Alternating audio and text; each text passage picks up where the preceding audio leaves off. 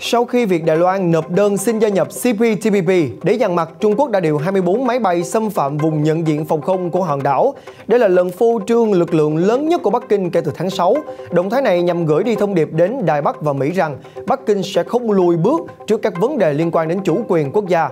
Dường như sợ rằng phô trương lực lượng như thế là chưa đủ, Trung Quốc cử luôn khinh hạm tên lửa áp sát vùng biển Đài Loan. Song song đó, Trung Quốc bất ngờ tung một bản cáo trạng tố cáo Mỹ vì vấn đề Hồng Kông. Mỉa mai Mỹ, Trung Quốc nói, dân chủ không phải là đặc quyền, càng không phải vật trang trí vô dụng. Liên quan đến mối quan hệ liên triều, sau khi Hàn Quốc đòi đối thoại, Triều Tiên đã mỉa mai, chừng nào Hàn Quốc còn dùng tiêu chuẩn kép thì hòa bình trên bán đảo vẫn chưa thể lập lại. Quan hệ Mỹ-Nga trong ngày qua cũng gặp một số trục trặc khi Hạ viện Mỹ đột ngột khuyến nghị áp đặt trừng phạt với nhiều quan chức chủ chốt của Nga. Các thông tin đáng chú ý khác, Liên Hiệp Quốc cảnh báo Myanmar đang có nguy cơ cao xảy ra nội chiến. California chi mạnh tay 15 tỷ đô la phòng chống biến đổi khí hậu. Trung Quốc tuyên bố sắp ra mắt vaccine bất khả chiến bại, có hiệu quả với nhiều biến thể nguy hiểm, thực hư thế nào? Ý có kế hoạch cung cấp 45 triệu liều vaccine COVID-19 trước cuối năm nay. Gặp gỡ những chú chó y tá cực đáng yêu ở Chile. Và tất cả sẽ được cập nhật trong FBNC Thế giới hôm nay. Chào quý vị, tôi là Quang Huy và quý vị đã cùng quay trở lại với FBNC Thế giới hôm nay. Mở đầu chương trình với thông tin vào thứ Sáu ngày 24 tháng 9 vừa qua, cơ quan phòng vệ Đài Loan cho biết đang theo dõi một khinh hạm tên lửa của Trung Quốc gần bờ biển phía đông nam của hòn đảo, một ngày sau khi 24 máy bay chiến đấu của Trung Quốc tiến vào vùng nhận dạng phòng không ADIZ của Đài Loan. Hành động này của Trung Quốc được cho là lời dằn mặt trước thông báo của Đài Loan hôm thứ Tư 22 tháng 9 rằng hòn đảo đã nộp đơn đăng ký trở thành thành viên của Hiệp định Đối tác Toàn diện và Tiến bộ Xuyên Thái Bình Dương CPTPP. Theo CNA, ngoài việc đưa 24 máy bay vào vùng nhận dạng phòng không của Đài Loan, ít nhất 3 trong số 24 máy bay đó đã tiến vào khu vực này từ phía đông nam thay vì phía tây nam như thông thường. Thêm vào đó, lần đầu tiên cơ quan phòng vệ Đài Loan MND nhìn thấy một khinh hạm tên lửa của Trung Quốc vào khoảng 3 giờ sáng thứ Năm, cách huyện Hoa Liên 40 hải lý về phía đông. Khi khinh hạm tiến về phía nam, MND cho rằng nó sẽ đi qua kênh Bashi, ngăn cách Philippines với Đài Loan. Đúng một ngày sau, vào lúc 3 giờ sáng thứ Sáu, một khinh hạm tên lửa khác của Hải quân Giải phóng Nhân dân đã được xác định ở cách đảo Hải Xanh 116 hải lý về phía đông, nhưng đến sáng thì đã rời khỏi khu vực. Hải quân Đài Loan đã cử các tàu tuần tra đến quan sát, trong khi các máy bay chiến đấu Mirage 2000 tại căn cứ không quân Zihang của Đài Đông để huấn luyện, cũng nhằm theo dõi khu vực phía đông nam của hòn đảo. Một phát ngôn viên quân đội cho biết vùng nhận dạng phòng không và các vùng biển xung quanh Đài Loan đang được giám sát chặt chẽ. Các biện pháp cần thiết đã được thực hiện và tình hình hiện đã bình thường. Việc đưa khinh hạm tên lửa của Trung Quốc áp sát bờ biển phía đông nam của hòn đảo được cho là lời dằn mặt trước thông báo của Đài Loan hôm thứ Tư rằng hòn đảo đã nộp đơn đăng ký trở thành thành viên của Hiệp định Đối tác Toàn diện và Tiến bộ Xuyên Thái Bình Dương CPTPP. Bộ Ngoại giao Trung Quốc hôm thứ Sáu cũng đã công bố một số thông tin về sự can thiệp của Hoa Kỳ vào các vấn đề của Hồng Kông, cũng như Mỹ đã ủng hộ các lực lượng chống Trung Quốc và gây bất ổn, cáo buộc Mỹ cố ý can thiệp vào công việc nội bộ của Trung Quốc, đặc biệt là các hành vi liên quan đến Hồng Kông. Theo danh sách tài liệu của Trung Quốc, trong những năm gần đây, Mỹ đã liên tục phỉ bán các chính sách của Trung Quốc và phá hoại chủ quyền của Trung Quốc với Hồng Kông, bao gồm việc can thiệp vào các vấn đề của khu vực, áp đặt các biện pháp trừng phạt để cản trở các chính sách mà Trung Quốc đưa ra cho Hồng Kông và đưa ra những cáo buộc vô căn cứ nhằm phá hoại sự ổn định của đặc khu. Danh sách cũng tiết lộ sự hỗ trợ của Mỹ đối với các lực lượng chống Trung Quốc, tố Mỹ đã lan truyền thông tin sai lệch về chính trị để biện minh cho hành động vi phạm pháp luật của những tổ chức cá nhân ở Hồng Kông và đánh lừa công chúng. Mỹ cũng đã hợp tác với các quốc gia khác để gây áp lực lên Trung Quốc. Người phát ngôn của Văn phòng Ủy viên Bộ Ngoại giao Trung Quốc tại Hồng Kông nhấn mạnh, danh sách này là hồ sơ tội phạm của việc Mỹ can thiệp vào các vấn đề Hồng Kông và các vấn đề nội bộ của Trung Quốc, phá hoại sự thịnh vượng và ổn định của Hồng Kông. Đây cũng là lời cảnh báo mạnh mẽ đối với tất cả các thế lực chống Trung Quốc cố tình gây bất ổn ở Hồng Kông. Người phát ngôn cho biết danh sách này thể hiện quyết tâm sắt đá, ý chí và khả năng bảo vệ chủ quyền quốc gia, lợi ích an ninh và phát triển, cũng như bảo vệ sự thịnh vượng và ổn định của Hồng Kông. Theo một bài bình luận của tập đoàn truyền thông Trung Quốc CMG đăng hôm thứ Năm, Dân chủ không phải là quyền đặc biệt dành riêng cho từng quốc gia, cũng không phải là vật trang trí vô dụng tô điểm cho hệ thống chính trị mà không mang lại lợi ích cho người dân. Bài bình luận này được cho là nhằm nhắm đến các nước phương Tây, đặc biệt là Mỹ. Tập đoàn truyền thông Trung Quốc CMG mới đây đã đăng tải một bài bình luận như sau. Tại cuộc tranh luận chung của kỳ họp thứ 76 của Đại hội đồng Liên Hiệp Quốc hôm thứ Ba, Chủ tịch Trung Quốc Tập Cận Bình nói rằng dân chủ không phải là đặc quyền cho một quốc gia, mà là quyền cho người dân các nước được hưởng. Ngày hôm sau, Đại sứ Trung Quốc tại Hoa Kỳ Tần Cương đã lặp lại bài phát biểu của ông Tập và giải thích thêm về nền dân chủ Trung Quốc tại một sự kiện do Trung tâm Carter và Quỹ George Bush tổ chức. Trong bài phát biểu, ông Tần nói, định nghĩa về dân chủ là một chủ đề xứng đáng với những nhà tư tưởng giỏi nhất thế giới và cần có những trao đổi cấp cao nhất. Thế giới không nên rơi vào cái bẫy dân chủ chống lại chuyên quyền, một phương châm mà một số chính trị gia phương Tây thường sử dụng hoặc nhầm lẫn coi chống Trung Quốc là bảo vệ dân chủ. Nếu không, họ sẽ đẩy thế giới vào những cuộc đối đầu ý thức hệ nguy hiểm và chia rẽ không đáng có.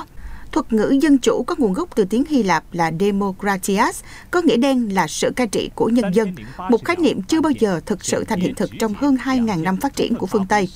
Tuy nhiên, tại phương Tây, đặc biệt là Mỹ, nước này đã dựa vào sức mạnh kinh tế và quân sự, cố gắng kiểm soát diễn ngôn, chính trị dân chủ quốc tế, khi làm vậy, Mỹ đã đơn giản hóa nền dân chủ thành một người một phiếu bầu và hệ thống đa đảng và sử dụng nó làm khuôn mẫu để đo lường hệ thống chính trị của các quốc gia khác. Do đó, một số quốc gia được coi là dân chủ nếu họ đáp ứng các yêu cầu và những quốc gia khác được gọi là chuyên quyền nếu họ không đáp ứng được các tiêu chuẩn này. Bản thân việc mô tả mối quan hệ giữa Trung Quốc và phương Tây là dân chủ chống lại chế độ chuyên quyền, tự nó đã là không dân chủ.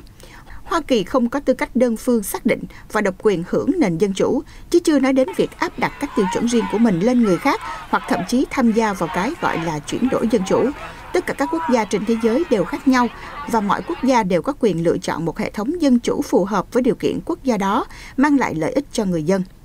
Bài viết nhấn mạnh dân chủ không phải là vật trang trí, nó cần phải thiết thực và hữu ích.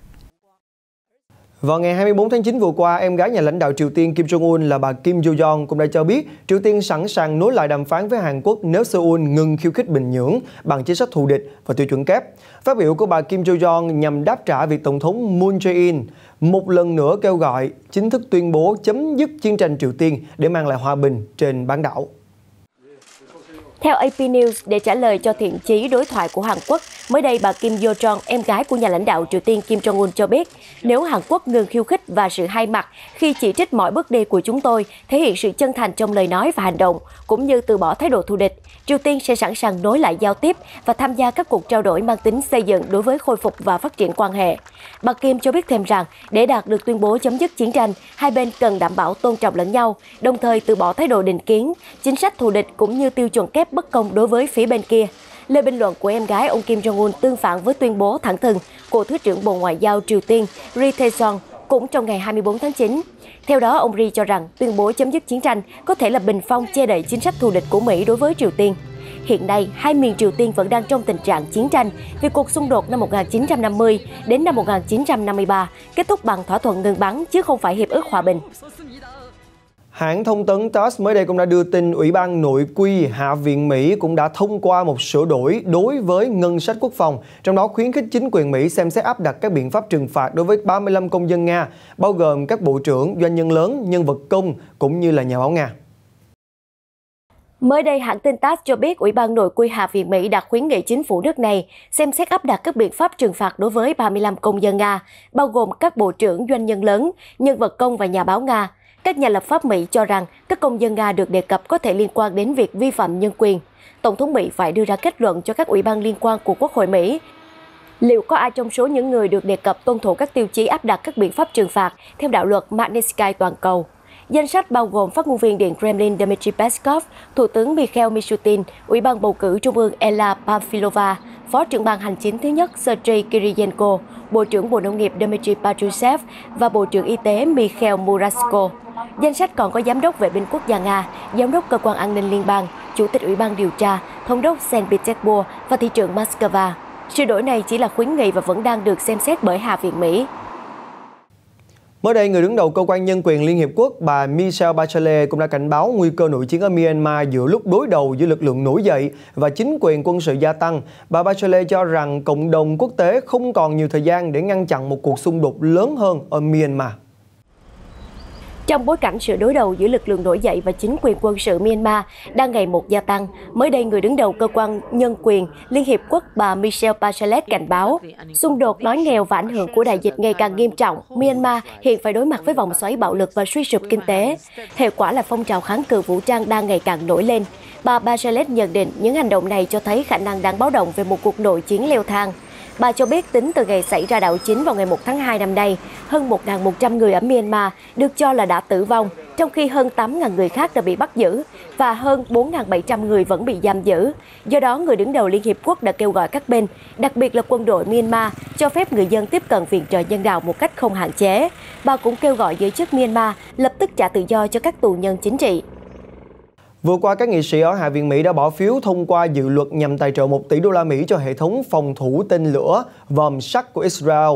Và dự luật này nhận được 420 phiếu thuận và 9 phiếu chống, gồm 8 phiếu từ đảng Dân Chủ và một phiếu từ đảng Cộng Hòa. Theo Reuters, sau khi đã được thông qua ở Hạ viện, dự luật sẽ được chuyển qua Thượng viện để được tiếp tục xem xét. Cơ quan này vẫn chưa lên lịch biểu quyết dự luật. Khoản tiền tài trợ này nhằm thay thế các hệ thống đánh chặn tên lửa mà Israel sử dụng để ngăn chặn tên lửa từ Gaza trong cuộc xung đột hồi tháng 5 vừa qua. Vào ngày 23 tháng 9 vừa qua, Phó Tổng thống Mỹ Kamala Harris đã gặp Thủ tướng Ấn Độ Narendra Modi. Tại cuộc gặp thì hai bên đã nhấn mạnh tầm quan trọng của một khu vực Ấn Độ-Thái Bình Dương tự do và rộng mở vào thời điểm Mỹ đang cố gắng xoay trục sang châu Á và tăng cường quan hệ với các đồng minh để chống lại sự ảnh hưởng ngày càng tăng của Trung Quốc trong khu vực. Theo thông báo từ văn phòng Thủ tướng Ấn Độ, ông Narendra Modi đã gặp Phó Tổng thống Mỹ Kamala Harris tại Washington DC vào ngày 23 tháng 9 trong khuôn khổ chuyến thăm Mỹ. Tại cuộc gặp trực tiếp đầu tiên, hai nhà lãnh đạo bày tỏ sự thân thiện, cùng nhau trao đổi quan điểm về những diễn biến toàn cầu gần đây, bao gồm tình hình Afghanistan, đồng thời tái khẳng định cam kết hướng tới một khu vực Ấn Độ Dương, Thái Bình Dương tự do và rộng mở. Hai nhà lãnh đạo cũng thảo luận về tình hình dịch bệnh COVID-19, bao gồm các nỗ lực không ngừng nhằm ngăn chặn đại dịch thông qua tiêm chủng khẩn cấp và đảm bảo cung cấp các loại thuốc quan trọng, phương pháp điều trị và thiết bị chăm sóc y tế. Ngoài ra, các chủ đề khác như biến đổi khí hậu, không gian, công nghệ thông tin, đặc biệt là các công nghệ mới nổi và quan trọng, cũng như hợp tác trong lĩnh vực chăm sóc sức khỏe cũng được hai bên thảo luận sôi nổi. Cùng ngày 23 tháng 9, Mexico cũng đã bố trí nhân viên cảnh sát dọc theo bờ sông Rio Grande ở biên giới Mỹ-Mexico để ngăn người di cư Haiti vượt biên sang Mỹ. Cảnh sát cũng đã tiến hành các cuộc đột kích để giam giữ những người di cư ở thị trấn biên giới Ciudad Acuna của Mexico. Thời gian gần đây, nhiều người Haiti tị nạn ở Mỹ đã vượt qua sông Rio Grande tới Mexico để tìm kiếm thức ăn và chăm sóc y tế. Tôi biết một cặp vợ chồng ở gần đây, người chồng bỏ đi mua đồ và các nhân viên di trú đã giam giữ và đưa anh ta đi. Vợ và con của anh ta đang ở đây. Chính quyền Mexico nên đưa gia đình người di cư đến nơi an toàn, chứ không phải tách họ ra như thế. Những người ở lại họ sẽ phải làm gì đây? Tại thành phố Mexico, hàng trăm người di cư muốn xin tị nạn đã xếp hàng bên ngoài Ủy ban hỗ trợ người tị nạn Mexico để được ở lại nước này. Trong khi hầu hết những người di cư đang tìm cách đến Mỹ, sau khi biết về tình hình ở biên giới phía Bắc, một số người đã muốn làm việc ở Mexico. Một người tị nạn Haiti tên là Residio Dolores, anh đã cùng gia đình đi du lịch từ Chile đến Mexico với hy vọng đến được Mỹ. Nhưng hiện tại anh Dolores đã quyết định ở lại Mexico và mong muốn có một công việc ổn định để nuôi sống gia đình. Hầu hết người tị nạn Haiti không phải đến từ chính quốc gia này mà đến từ các nước ở khu vực Nam Mỹ. Tuy nhiên vì cuộc sống khó khăn, kinh tế suy giảm cùng với đại dịch Covid-19 khiến họ không còn cách nào khác là phải rời đi. Theo thông báo của Bộ An ninh Nội địa Mỹ DHS cho biết vào ngày 17 tháng 9, họ đã đưa khoảng 2.000 người di cư Haiti, trong số gần 10.000 người đang tập trung dưới một cây cầu ở thành phố Del Rio của Texas đến các địa điểm khác. Cũng tại Mỹ mới đây, Thống đốc bang California Gavin Newsom cũng đã ký một gói tài chính trị giá 15 tỷ đô la phục vụ cho các dự án chống lại ảnh hưởng tiêu cực của biến đổi khí hậu, đặc biệt là cháy rừng và hạn hán, sau khi bang này đang trải qua một năm 2021 đầy khó khăn với giặc lửa bùng phát liên tục không ngừng nghỉ. Theo văn phòng thống đốc bang California, Mỹ, 24 dự luật mới được nhà lãnh đạo bang Gavin Newsom thông qua sẽ tập trung các nỗ lực về các vấn đề khí hậu, năng lượng sạch cũng như tình trạng hạn hán, phòng chống cháy rừng. Với gói tài trợ trị giá 15 tỷ đô la Mỹ vừa được ký, đây sẽ là khoản tài chính dành cho khí hậu lớn nhất từ trước đến nay của California. Phần lớn của gói này gồm 5,2 tỷ sẽ tài trợ cho các dự án cứu trợ hạn hán khẩn cấp và mở rộng nguồn cung cấp nước cho California, cũng như đầu tư vào những dự án giảm thiểu tình trạng nắng nóng khắc nghiệt và giải quyết mối đe dọa đến từ việc mực nước biển dâng cao khoảng 3,7 tỷ đô la Mỹ dành cho việc giải quyết các rủi ro liên quan đến biến đổi khí hậu, trong khi đó 1,5 tỷ đô la Mỹ sẽ được dùng để ngăn chặn nguy cơ thảm họa cháy rừng. Trước những gì đang xảy ra tại bang California, nơi phải hứng chịu mùa cháy rừng tồi tệ nhất nước Mỹ, Tổng thống Mỹ Joe Biden đã có chuyến thị sát đến địa phương cũng như thúc đẩy tăng cường các khoản đầu tư đáng kể từ nguồn ngân sách liên bang để chống lại biến đổi khí hậu. Trong một báo cáo gần đây, chính phủ Mỹ nhận định biến đổi khí hậu do tác động tiêu cực từ hoạt động của con người chính là nguyên nhân khiến nạn hạn hán ở Tây Nam nước Mỹ trở nên trầm trọng hơn. Đáng chú ý, lượng mưa được ghi nhận ở đây giảm xuống mức thấp nhất trong 20 tháng kể từ năm 1895. Báo cáo cũng chỉ ra rằng tình trạng hạn hán cùng thời tiết khắc nghiệt tại vùng Tây Nam nước Mỹ có khả năng sẽ thường xuyên hơn, tồi tệ hơn nếu giới chức địa phương không triển khai ngay các biện pháp ngăn chặn và phòng ngừa. Hãy cùng chuyển sang một số thông tin liên quan đến đại dịch Covid-19. Theo Global Times, Trung Quốc sắp ra mắt một loại vaccine phòng Covid-19 mới có tên gọi là SCB 2019, có hiệu quả đối với cả ba biến thể Delta, Gamma và Mu. Theo dự đoán, đây có thể sẽ là loại vaccine hiệu quả nhất được phát triển ở nước này. Nghiên cứu mới nhất cho thấy SCB 2019 có hiệu quả 79% đối với biến thể Delta và 67% hiệu quả tổng thể đối với bất kỳ một biến thể nào. Theo Global Times, một công ty dược phẩm sinh học có tên là Clover có trụ sở tại thành phố Thành Đô đang bào chế vaccine SCP-2019, một ứng cử viên vaccine COVID-19 dựa trên protein. Công ty này đã thông báo đạt được đến tiêu chí cuối cùng về hiệu quả quan trọng nhất và các tiêu chí cuối cùng về hiệu quả thứ cấp trong Spectra, một thử nghiệm lâm sàng quan trọng trên toàn cầu giai đoạn 2-3. Đại diện công ty Clover cho biết thử nghiệm lâm sàng đã thu hút hơn 30.000 người lớn và người cao tuổi tham gia tại 31 địa điểm ở 5 quốc gia trên 4 châu lục, gồm Philippines, Brazil, Colombia, Nam Phi và Bỉ. Những kết quả thử nghiệm cho thấy ứng cử viên vaccine SCP-2019 đã chứng minh đạt hiệu quả tổng thể 79% chống lại COVID-19 ở bất kỳ mức độ nghiêm trọng nào gây ra bởi biến thể Delta, biến thể thống trị toàn cầu hiện nay. Ngoài ra, thông báo của Clover cũng nêu rõ SCP-2019 có hiệu quả 92% đối với biến thể Gamma, 59% đối với biến thể MU và ba chủng Delta Gamma MU chiếm 73% tổng số các chủng virus SARS-CoV-2 đã được nhận dạng trong nghiên cứu. Vaccine này đạt hiệu quả tổng thể là 67% đối với COVID-19 ở bất kỳ mức độ nghiêm trọng nào gây ra bởi bất kỳ chủng nào trong nghiên cứu, đáp ứng thành công tiêu chí cuối cùng quan trọng nhất của thử nghiệm. Hôm thứ Năm ngày 24 tháng 9, Thủ tướng Ý Mario Draghi cũng đã cho biết rằng nước này có kế hoạch cung cấp khoảng 45 triệu liều vaccine cho các quốc gia khác trên khắp thế giới trước cuối năm nay, gấp 3 lần cam kết ban đầu. Trong đoạn video gửi tới Đại hội đồng Liên Hiệp Quốc, ông Draghi cũng đã cho biết rằng chúng ta phải bảo tồn sự lưu hành tự do của vaccine và các nguyên liệu thô cần thiết để sản xuất chúng ở cấp độ toàn cầu. Thêm vào đó, ông cho rằng thế giới cần khởi động lại chủ nghĩa đa phương để đáp ứng những thách thức mới của thời đại. Hơn một năm rưỡi sau khi bắt đầu cuộc khủng hoảng y tế toàn cầu, cuối cùng thì thế giới cũng đã có thể nhìn vào tương lai với sự lạc quan hơn. Chiến dịch tiêm chủng mang lại cho chúng ta niềm tin vào khả năng trở lại trạng thái bình thường mới. Thưa quý vị, Chile là một trong những quốc gia ở Nam Mỹ bị ảnh hưởng nặng nề nhất trong đại dịch khi số lượng tăng vọt đã đẩy các bệnh viện ở quốc gia này rơi vào tình cảnh quá tải. Tuy nhiên, số ca bệnh đã giảm mạnh trong những tuần gần đây nhờ vào đợt tiêm vaccine tốc độ nhanh và ngoài nguyên nhân đó ra thì còn một nguyên nhân khác nữa đó chính là Chile vừa mới tuyển được một đội y tá vô cùng dễ thương. Đó chính là những chú chó như hình ảnh sau lưng tôi đây ạ. À à, có phải là nhờ vào việc được gặp gỡ và nhận được những lời động viên của nhóm y tá đặc biệt này mà số lượng bệnh nhân giảm bớt hay không? Mời quý vị sẽ cùng theo dõi ngay sau đây. Trong hình là PP, một y tá đặc biệt có bộ lông dài màu vàng, bên cạnh là Chimu, người bạn đồng hành với bộ lông đen trắng trông có phần hung dữ. Cả hai đang đi dạo trên hành lang của một bệnh viện nhi ở thủ đô Santiago. Cả hai có nhiệm vụ là giúp giảm bớt căng thẳng tại bệnh viện Ezequiel Gonzalez Cortez ở San Miguel, nơi đã bị quá tải trong nhiều tháng qua bởi các ca nhiễm COVID-19 và các ca phẫu thuật khẩn cấp khác. Cô Teresa Nilo, một kỹ thuật viên bệnh viện bị Covid, cô cho biết từ khi xuất hiện các chú chó, cô thấy tinh thần mình khá hơn trước rất nhiều. Cô thấy mình được chào đón chứ không phải là đắm mình trong bốn bức tường như trước nữa. Theo phòng khám Mayo có trụ sở tại Mỹ, liệu pháp để động vật hỗ trợ trong bệnh viện có thể làm cho bệnh nhân giảm bớt cảm giác đau đớn, lo lắng, trầm cảm và mệt mỏi. Các nhân viên của bệnh viện cho biết, ngoài người lớn thì trẻ em tại bệnh viện cũng đặc biệt yêu thích những chú chó này. Ông Rodrigo Overett, một thợ cơ khí ô tô có con trai vừa phẫu thuật mắt tại bệnh viện, cho biết con của ông rất vui vẻ nhờ liệu pháp này. Ông cho rằng với những đứa trẻ bị bệnh nặng, điều này giúp chúng thoát khỏi sự căng thẳng khi ở bệnh viện. Chuyển sang các thông tin tiếp theo, Tổng thống Brazil Jair Bolsonaro hôm thứ Năm 23 tháng 9 cho biết Thủ tướng Anh Boris Johnson, người mà ông sẽ gặp trong tuần này tại New York, đã yêu cầu ông tạo một thỏa thuận khẩn cấp để cung cấp một số sản phẩm thực phẩm đang thiếu ở Anh. Ông Bolsonaro không nêu tên sản phẩm nhưng cho biết ông đã chuyển yêu cầu của ông Johnson tới Bộ trưởng Nông nghiệp Brazil. Phát biểu trên webcast hàng tuần của mình với những người ủng hộ, Tổng thống Brazil cho biết Thủ tướng Anh đã yêu cầu phía Brazil cung cấp một số loại thực phẩm mà Anh đang thiếu, tuy nhiên không nêu tên sản phẩm. Nhưng ông Bolsonaro cho biết ông đã chuyển yêu cầu của Anh tới Bộ trưởng Nông nghiệp Brazil là bà Teresa Cristina.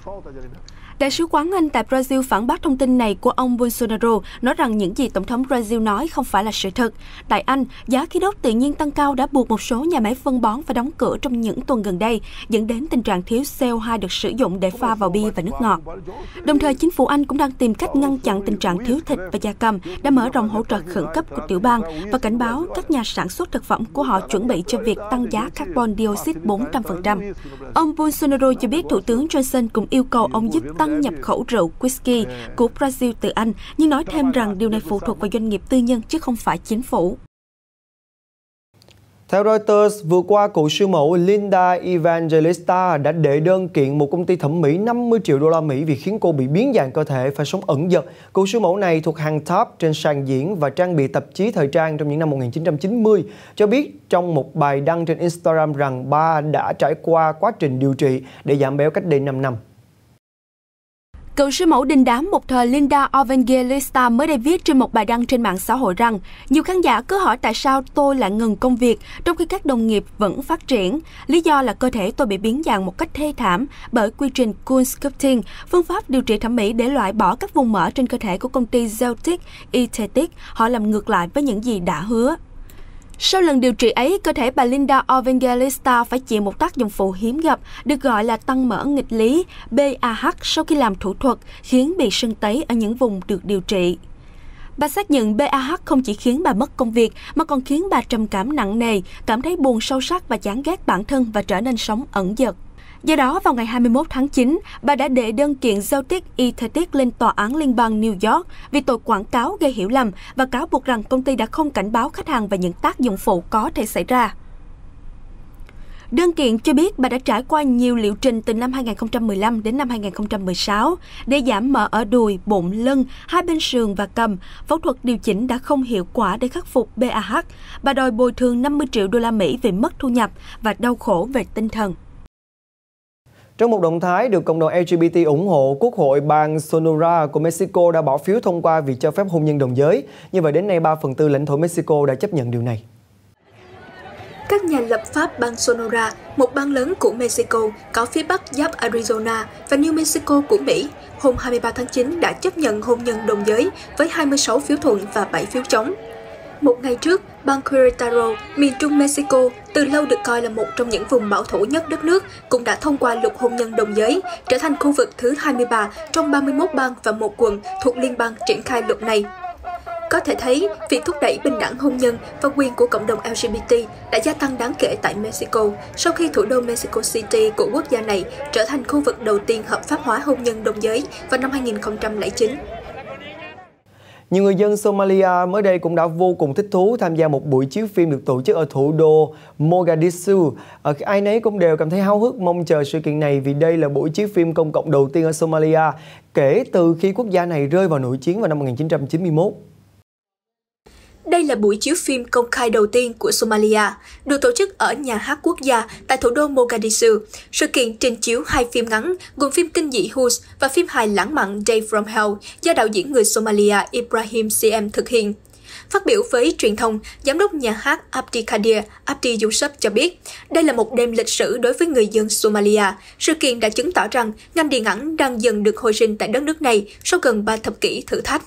Nhà hát quốc gia Somalia được khánh thành vào năm 1967, nhanh chóng trở thành một địa danh văn hóa quan trọng ở thủ đô. Đây là nơi tổ chức các vở kịch, ca nhạc hoành tráng, liên hoan phim vào những năm 1980. Tuy nhiên, khi nội chiến bắt đầu nổ ra năm 1991, nhà hát đã đóng cửa và nhiều lần bị hư hại nặng trong các cuộc xung đột. Địa điểm này được mở cửa trở lại vào năm 2012 nhưng lại phải tiếp tục đóng cửa đến năm 2020 sau cuộc tấn công bằng bom của nhóm nổi dậy Al-Shabaab